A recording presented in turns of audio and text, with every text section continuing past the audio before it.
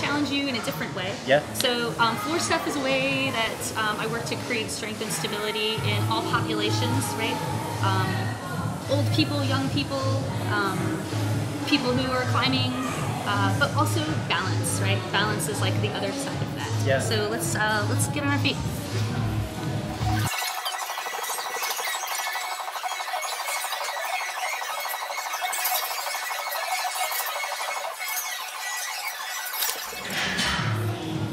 This exercise is the most important one to ask um, where you feel it. Where'd you feel the struggle?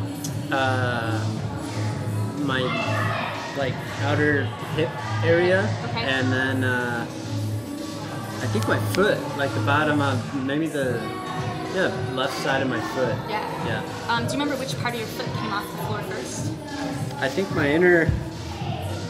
Yeah. Yeah. Yeah, this guy right here. Yeah, Yeah, yeah. yeah, yeah. Okay, cool. Let's do it again.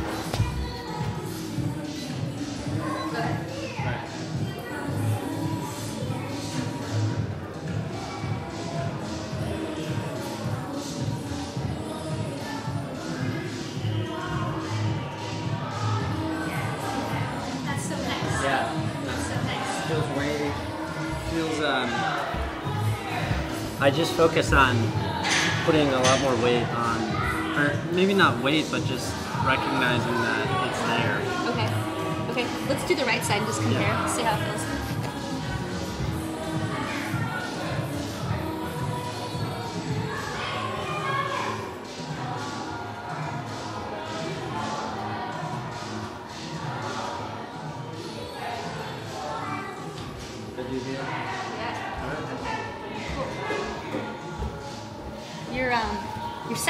Toe is really connected to the floor.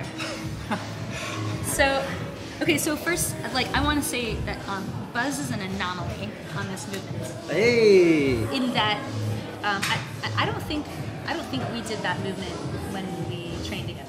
Did we? No. Okay. I, I have very particular ways that I coach this movement, usually because there's a whole bunch of things that go wrong with it. It didn't go wrong with you, Okay. uh, which is exciting. Right? Yeah. You're like an advanced movement student. Like I could take you into this movement and go tons of new places. We could make it a crazy balance experience. We could make it an amazing strength experience for you. But there's one thing that's really important to setting that up. So we're going to set it up right now. Sure. We're going to face the camera Yep. and feet right under hips. We're gonna spread the toes, so lift them up, spread them, and then grip the floor. Okay, I'm giving away all my secrets right now.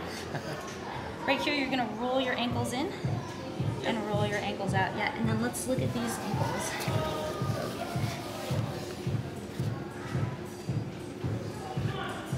We're just gonna alternate gripping and rolling. Feels good.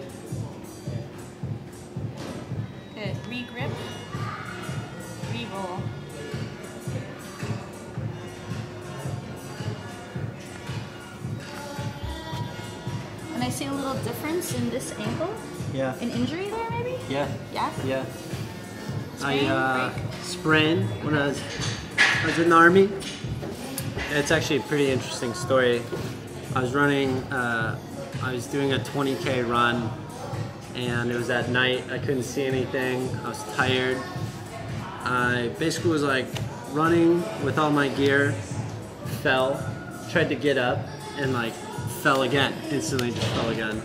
And then I looked and I like you know, my foot, my boot's on my foot, and I'm like looking, and I'm like, how is my boot backwards? And my like, my foot was just like flipped. It was so, so yeah. I had this left ankle has had quite a uh, like recovery process. So we're making sure to contact um, as much of the foot with the floor as possible while still keeping our tibia, right, stacking right in the middle of our foot. But we're also exploring that full range of motion, right, all the way to the outside without lifting up the toes and all the way to the inside. Because you should be able to have stability in any of these positions, even though this is our optimal position for any kind of loaded work, right? Right. That's why I don't do squats on a Bosu, all right? Because I want this to be nice and stable to set me up for all my loaded work. So now you're gonna set up over here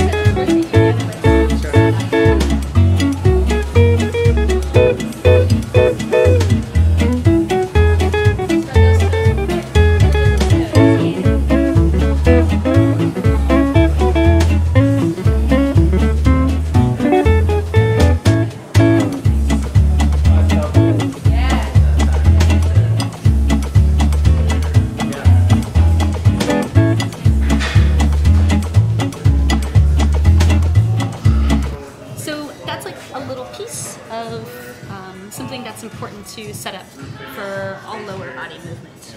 Um, and that will change when you get on the wall. Right? When you put climbing shoes on and you're basically in a little ballet pointe shoe, that's going to change and that training changes. But to be able to grip the floor strongly with your feet, stack your knee correctly over your ankle, have that move through a solid, like through a safe range of motion, and then do whatever active movement. Yeah. That's going to be so much more strong and stable Yeah. than um, just going for it.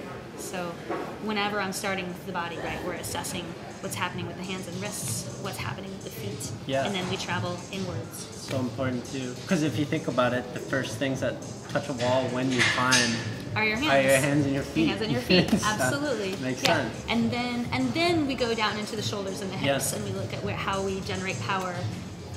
All right, cool people. So right now we're gonna do the uh, session of the show. Can I hang tight? What it is, we're trying to bundle up the learning of what we learned about balance and stability and strength, uh, and see if I could put it to the test. Um, because if I can learn it this quick, that means anyone can, and anyone could start benefiting from it. So. All right, let's do it. do it. Right. So this is a little. Uh, actually, I'm gonna preface this. Yeah, this is a sure. this is a little movement pattern um, that I call the one-sided diva maker. Oh yeah, Diva Maker. Uh, my old trainer trained me in a movement it's called the man maker, and I thought that was cool. Um, but I want to be open to all people, so diva maker. Yeah, Let's do it. let's be divas.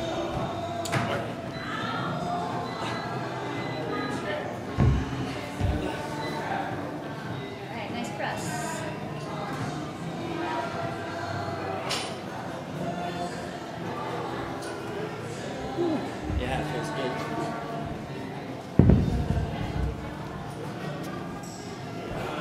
All right, so we got a press, we've got a row, high press, switch to single leg deadlift. You're gonna step back into a lunge, nice tall spine, back to plank. Offset push up, single arm row, squats, press. Ah, what I just did. Did it, did it. I did. Oh, row, yep, yep. Squats press. Alright, single leg deadlift. Same arm, same leg. That leg nice and high. Kick it up, kick it up. Reach back.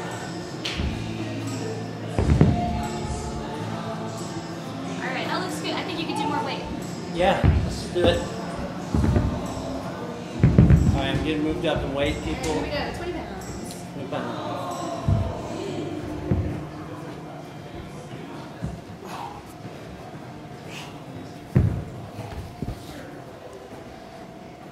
All right, so I like this pattern because it trains a whole bunch of skills, a bunch of stabilization skills. Keep that torso lifted, good. Spine high as you sit back.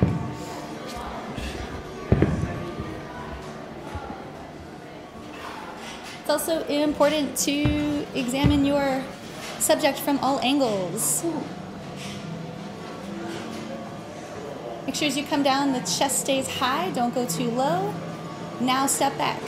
There we go. Good.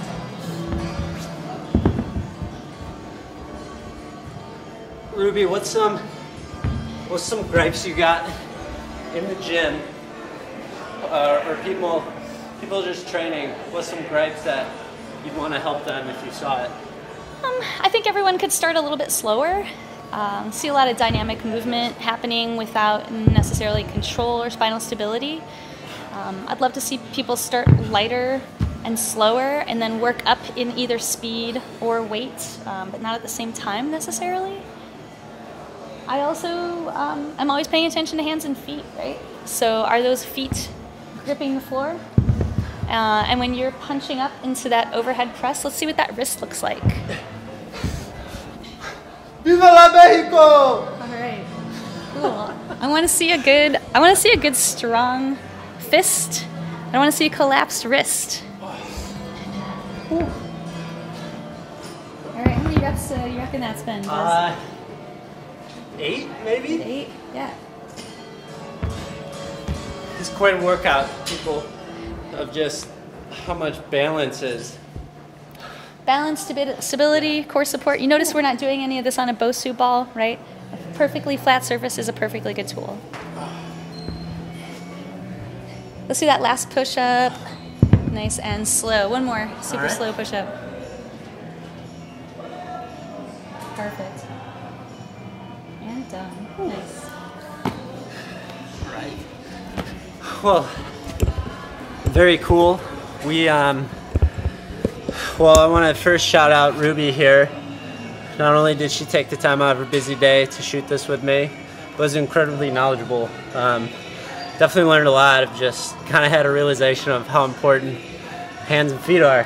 Yeah. like, Yeah, yeah. Especially with climbing, I want you to ask right now, like, what's the first thing that touches the wall? And you, hopefully feet. you say hand and feet, right? so um, I'm gonna post all of Ruby's uh, social media so you can follow her, get in touch with her. Yep. Um, Find me on Facebook and the gram. yeah, there we go. and uh, subscribe and share this video. Um, I love doing these and I want to keep doing them. So support that if you'd like. Um, Ruby, do you got any shout outs you'd want to do? Um, yeah, the space we're shooting in is Brooklyn Boulder, Chicago. Um, this is my home turf, and um, it's an incredible place to work. Uh, I have an incredible degree of freedom to learn and grow and develop um, really interesting classes and boot camps, train people the way that I see fit. And um, they're supporting me through a winter sabbatical, uh, which is going to give me the opportunity to travel and go learn a whole bunch of new stuff and bring it back Yep. back home. So um, definitely one of the best places I've worked Yeah. in decades. And it's it's a you know it's a place where you can be weird, like shouting "Viva la Mexico" is pretty normal. So yeah, you could have some fun values. here and core values, you know. So um, thanks and uh, stay tuned. Uh, more episodes next week. Thanks.